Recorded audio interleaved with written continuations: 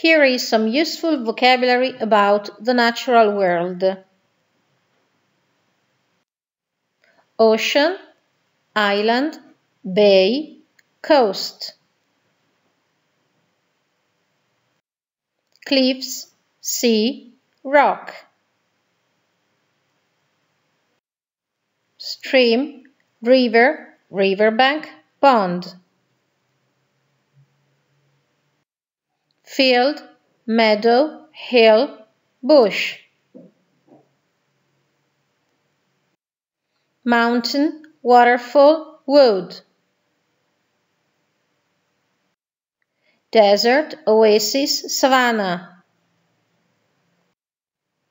Glacier, tundra, rainforest, jungle.